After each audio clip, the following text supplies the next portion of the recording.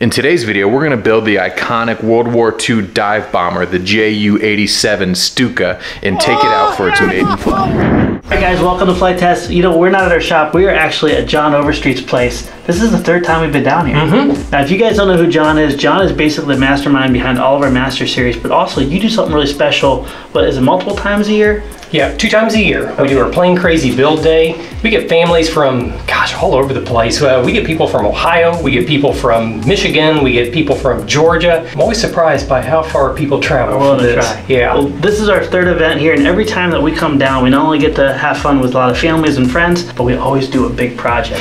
now, last time was a huge P-38s. This time, we're going to be going big, but it's on one that you've been actually working and holding back for about, well, since last Yeah, last event, uh, right? Yeah, the last Plane Crazy Build Day we had to cancel. So we had planned to do this. Yeah, when that event got canceled, so did the project. stinking COVID. Well, this time we're back. So we're gonna be taking John's design. This is actually a Stuka dive bomber. And if you guys know how much we love dive bombers, we've been doing a lot of things and I've been missing a lot of targets. Yes! Yes! Oh my, did I get it? But we're gonna take one of these designs, we're gonna supersize it, we're gonna build it, and hopefully before we have to go home, we're gonna fly it. So for the fuselage of the Stuka, we're going to be building this much the same way as we build all the other Master Series. We're going to start by connecting a whole bunch of rings that are going to make up the shape of the body. To get the exact form of these, we're going to use formers that the rings are going to push into, and then all those sections are going to push into a vertical spline that's going to give us both the alignment and the shape. Now the real special thing about the Stuka specifically is John's starting to design what we're called molded fins. A lot of times on warbirds, you won't see just a flat vertical surface, but you'll actually see a molded vertical airfoil. And this is really important to keep drag, but it's also a really key scale detail on the Stuka. John did what he called a molded tail, where it's gonna give us that airfoil and also tons of strength at the same time. We're also gonna be able to hide our servos for both our elevator and our rudder back by the rear tail, so all you'll see coming out is the push rods instead of an exposed servo. We're gonna work one piece at a time, just like all the other Master Series, from the tail to the tip of the nose. Now this Stuka had a lot of crazy body lines, but what I love is it's very similar to building any of the Monster Series, so it was a real joy and went very easily. One of the biggest things we had to work on is getting the proper thrust angle, because we gotta remember that the wing is gonna be much lower than where the motor's gonna be.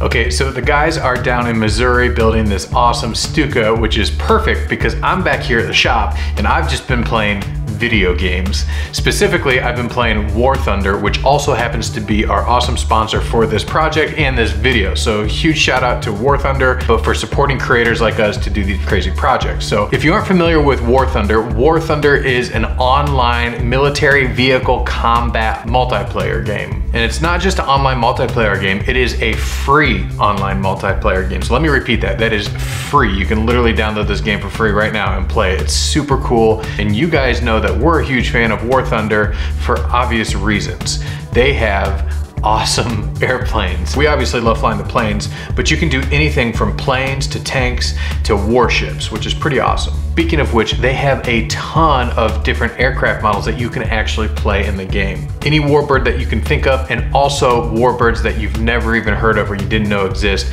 you can find them in War Thunder. Now, the coolest thing about War Thunder, beyond the fact that it's free, is that you can play it on basically anything. Uh, this will run on PC, this will run on Xbox, PlayStation, both the previous generation and the latest, newest generation um, as they're releasing support for them. And beyond that, the best part about all that is it's cross-platform. What cross-platform basically means is that if I'm playing War Thunder on my PC and you happen to have an Xbox, we're still gonna be able to take to the skies and battle each other on separate platforms, which is pretty awesome. Now, naturally, I went straight to the Stuka. And if you guys aren't familiar with the Stuka, obviously it's a World War II dive bomber. This is the part of the game that is probably my favorite is their attention to detail. So the Stuka was uh, originally flown in 1935 and it went into combat in 1937 and it became one of the most iconic dive bombers of all time. Unique thing about the Stuka is it actually had a crew of two. Obviously it had a pilot, but in the back, a lot of the variants had a rear facing gunner uh, which would, had a huge machine gun would sit in there and take off people who are coming in on your six, which is pretty awesome. Naturally, in War Thunder, you can actually utilize that gunner seat. They really pay attention to all of the different planes' performance and functionality. And speaking of performance, I'm excited about this Stuka because it had some pretty crazy performance. So the Stuka had a wingspan of 13 meters. That's 45 feet. So this isn't no tiny little dive bomber. This is a big aircraft flying through the sky. And the max takeoff weight was nearly 10,000 2,000 pounds. Uh, so it could definitely carry a pretty big payload. And to get all that off of the ground, it actually had an inverted V12 liquid cooled piston engine that had over 1100 horsepower. So it was a beast of a machine. In terms of performance, the thing would fly at about 240 miles an hour. So it wasn't necessarily the fastest warbird of its time, but it was extremely deadly in the sense of dive bombing. So one of the cool things about playing War Thunder, I was flying the Stuka around and naturally I was getting shot a lot. And one of the cool things that I noticed is not only does your plane get damaged, uh, but it actually gets damaged depending on where the bullets hit the plane um, and how they hit the plane. You can actually see the bullet holes on the plane. It's pretty incredible the way the physics of this game works with the uh, aircraft damage. Now, like I said earlier, all of this is free to play so you can download it right now, but now is the time to do it because they just recently came out with a massive update to the game where they updated a whole bunch of different things in the game, including graphics. They have a whole new game engine called the Dagor 6.0, which brings the combat to a whole nother level of realism. So for you graphics nerds out there, it's RTX compatible, so it's gonna work with your latest uh, RTX video cards. But even for non-PC users, it, you're gonna notice a difference in global illumination, uh, the clouds, they have a new cloud renderer, and even the effect renderer, which is gonna improve things like smoke. So when you get shot out of the sky like I do a lot, the smoke is gonna look very realistic. On top of that, they have a completely revamped naval tree, allowing players to control even bigger ships called mighty battleships much earlier in the game, so you don't need to progress as much to get to those huge ships, which is pretty awesome. And they also have a new battle pass system and season system like a lot of online multiplayer games are adopting, so you can unlock unique stuff just for playing the game. That's anything from vehicles to camouflage and a lot of other things too. Another new thing in the update is it has a new interactive hangar, and this is probably one of my favorite. Um, basically, you can go into this hangar and inspect your aircraft, and their attention to detail and the beautiful graphics in this game is enough to make me just like hang out in that hangar and just look at my airplane. As you can see, the Stuka looks super sick. On top of that, it also has a sleek interface design as well as a new immersive soundtrack. So the new update is huge with War Thunder, and we couldn't be more happy to be working with them on these awesome projects. Uh, so so again, guys, check out the link below. Use our link to register and download now. You really have no reason not to. It's free. You might as well check it out and have a look at all the cool planes that are in there. Um, and you can even fly them too, which is pretty cool. So thank you to War Thunder and thank you to you guys for watching our videos. It's because of you guys that we have sponsors like War Thunder. So thank you so much. And let's head back down to Missouri and see how the Stuka is coming. All right, so the fuselage is all done. Uh, John and I are working on the wings now. This is actually gonna be a one-piece wing that's gonna attach to the fuselage fuselage so we can take it home easily. Uh, but the fuselage went together great. There's a lot of mm -hmm. new mm-hmm. techniques that you put in there. I'm really happy with how that came out. Uh, like we were talking about when we first started, I was really worried about once we got everything scaled up, how everything would go together using the two thicknesses of foam, but it would be smooth sailing. Now the techniques for this are the same techniques. Basically what John has is he has an internal structure that's very minimal but very strong. So he has boxes for the, the battery box, he has lots of different formers. And the reason we love partnering with John is he doesn't just care about how the plane looks and how it flies, but also how it builds. So the same techniques we're using on this one is what we use on the Master Series, and even going down to our Mini Series as well that you're designing, right? That's right. So just because these are big doesn't mean they're complicated to build, which means if you start with something like a Mini or a Master Series, you can move all the way up to building monsters like this. So for our bigger builds here, oftentimes we'll talk about taking a smaller build, like the last one like we just did with the Corsair. John's actually taken his Master Series designs and he's blowing up and then shipping it to us. So we really get to just cut it out and build it. And there's not very much that we have to adjust. He has this thing down to a real science. So uh, how excited have you been to, to get this one designed into a monster size? Oh, I've been chomping at the bit. Uh, this plane just looks so good as a model really, whenever we uh, blow it up, uh, I think we go at 885%. Yeah. Probably the hardest part is whenever we have the internals and the formers that are made out of the, the thick foam, yeah. but then we do the skins out of the lighter weight stuff. There's always a little bit of adjusting that we have to do so that everything comes together. And um, I think I've got a formula that's pretty close. I think Noah's been uh, making quite a few of these lately. He'd probably be a lot better at describing. well, a lot of times, I mean, the computers can only go so far, but you know, with these angles, you call it the angry beaver. You just got to get in there and you got to start cutting pieces and seeing how they fit. I mean, you can get it within 80%. The last 20% is really up to you, right? That's right. That's all right. Probably a little more something else. Like that, maybe? Yeah.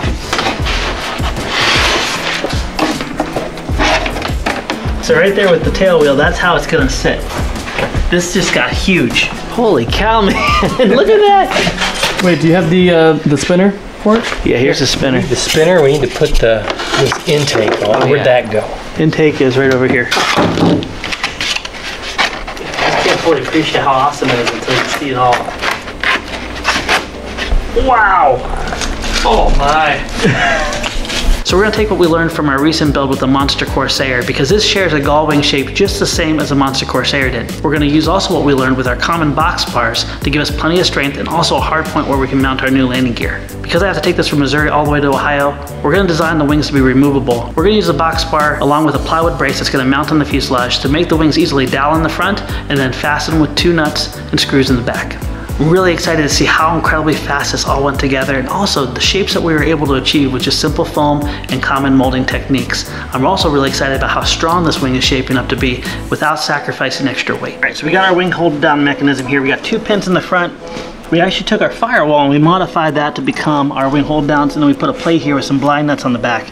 Blind nuts are really cool because you fasten them in and they don't come out. And then what we're gonna do now is do a test fit see if we can make two pieces one of wing. I think I found it. All right, you pick it up. You do the honors. Oh boy. Thing is huge. That Yeah. that holds that. together better than a lot of balsa wood planes I've done, man. That is perfect. All right, so the next step here is we got to fasten in our little torque tubes for the landing gear wire, and then John's gonna go ahead and skin this. I'm gonna start working on electronics. It's gonna be ready to fly in a paint. Are we gonna paint this before we fly it? I think we should paint it. That's running right to the finish line. So, okay, let's do it. All right, so time is running out here, but we were able to get the airframe all completed. And also, John does such an amazing job with painting this. We're able to get the main camouflage paint job on this using some stencil techniques that John taught us. So in typical Flite Test fashion, we bit off more than we can chew. We weren't able to get this 100% ready to fly at John's place. So we're bringing it back here to Edgewater. And this is where we're gonna be finishing up. We got decals to put on. We gotta go ahead and fine tune our servos. We gotta drop an Aura 5 board in it. At the end of the day, we're gonna have this ready to fly, take out to the field and see how she does. I think we're ready. You know I love is as we're rocking this back and forth, the last time we tried to take this off here, everything was ready to go here. The only problem is we didn't have the landing gear reinforced. We thought possibly it'd be strong enough. But what happened is once we started rolling, these wheels kicked to the side, they locked up and immediately it just tipped over. It blew the spinner off, broke the prop. We were done for the day. So we went back and took what we learned from the uh, fiberglass arrow video where we fiberglassed the uh, FT arrows and we actually had Noah fiberglass the landing gear pieces. We also fiberglassed some reinforcements for wood and used much heavier wire. Now this landing gear is not only removable but as strong as a rock but light as a feather. So I think we're ready for round two. The only thing we're gonna have to be careful about is we're gonna be going through snow here as well. And anytime that you get snow or something, you don't wanna lift up your tail too quickly or else you could nose over it. And this plane sits super, super high. So we're gonna be really careful, hopefully kind of get right into the wind, get some speed up before we lift up the tail, and we'll see if it flies. Scale 1 to 10, Noah. If it was a warm day, it'd be a solid eight. Right now, I'm down to a six, maybe six and a half. That's a lot of faith in his dad, huh? you know, just for that comment, I'm gonna make him fly it when we get up. Y'all ready? I've been so excited and so anxious about this. Yeah. I almost feel better about you launching it, but this is the first monster we have with a legitimate scale landing gear. We're taking it off. This this is like a month and a half in the making. Yeah. Pretty much. From Missouri to here, to the runway to here. The shop. All right, you guys ready? We're ready, buddy. All right. You ready? Good luck, sirs. Lord, help me get Get off. this in the air, Lord. You ready? In the air. Okay, let's do this. Three.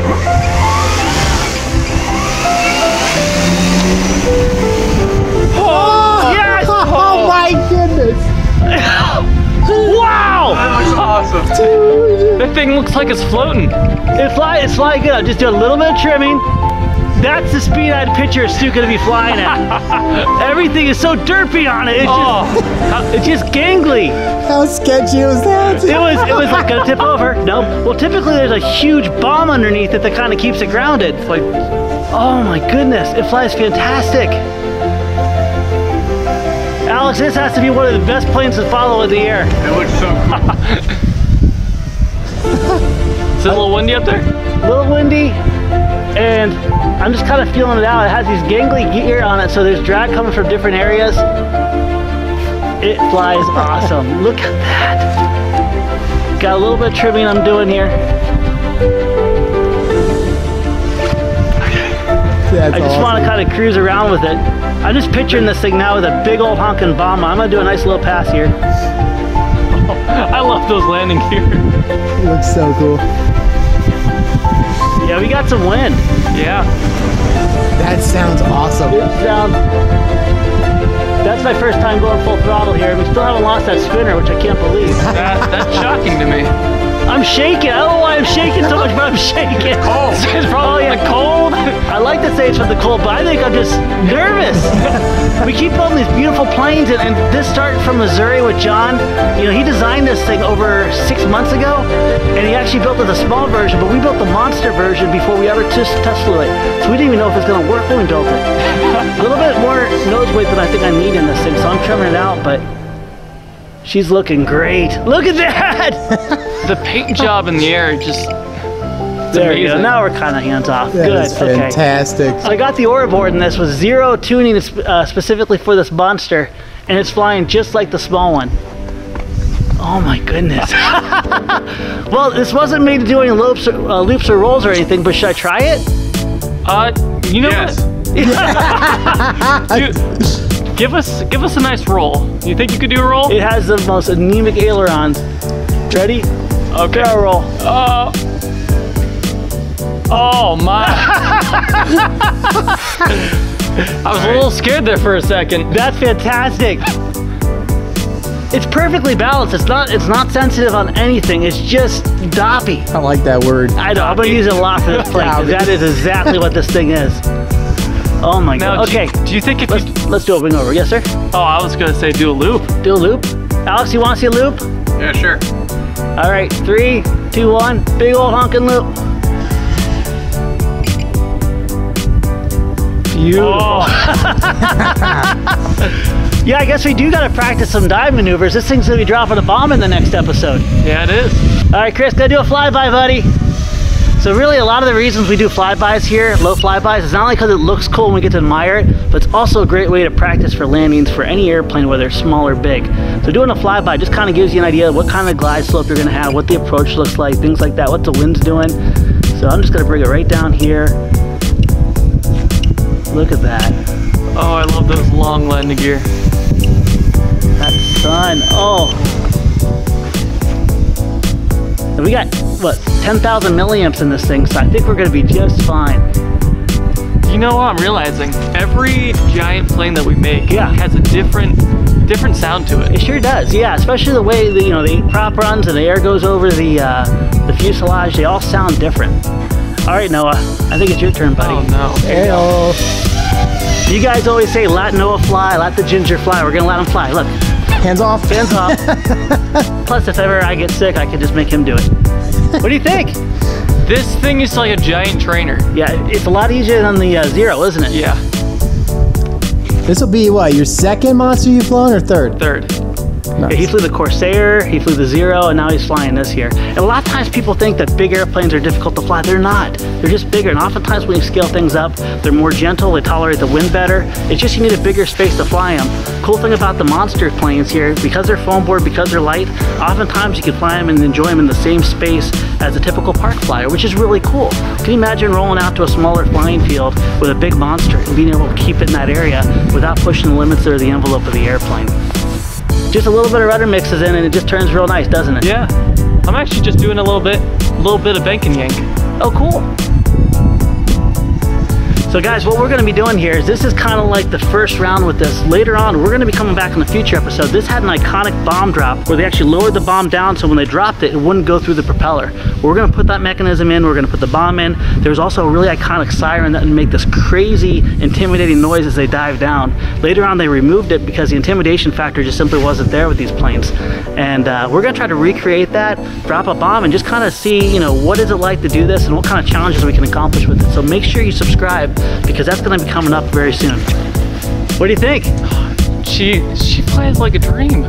That's And what. it's, it's not the calmest day today. no. I love it. There's times like when you go downwind, she definitely picks up some speed.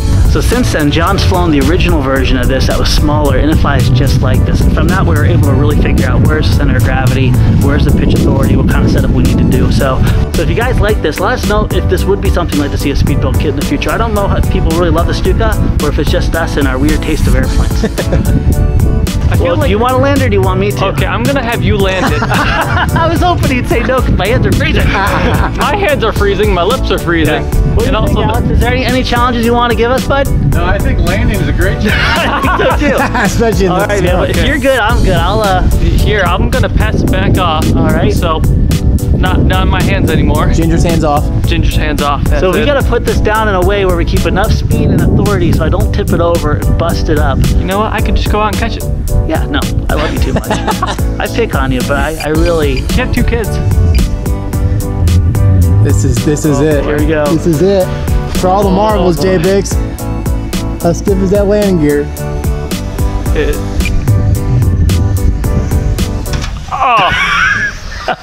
That's the deepest snow. That's the deepest snow in the course. It just, it just kind of, it was so beautiful. Just sat down and. well, you know, here's something we always say. Let's go check out the damage. That is the deepest snow.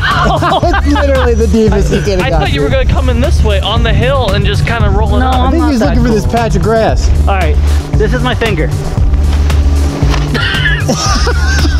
It's a full, look it's a full four inches. on. That works so fine. You want me to try round two? I put it in the deepest snow out here. Everything is melted except for that pot. All right, so guys, we are not done with this yet. We are gonna go ahead and add more scale detail. We're gonna do that bomb drop mechanism where it lowers the bomb down. Noah, I'm sure we're gonna rope you into something with a challenge with that bomb. Something. Yeah, so guys, make sure you hit that subscribe bell. Tune in next time. Thanks for being part of the family, and we'll see ya. See ya.